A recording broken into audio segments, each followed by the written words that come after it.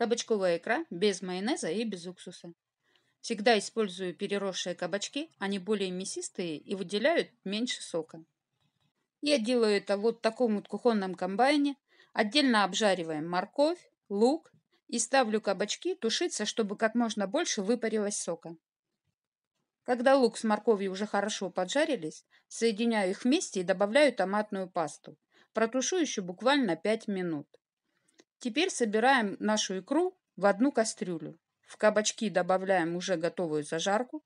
Будем тушить 1 час, периодически помешивая.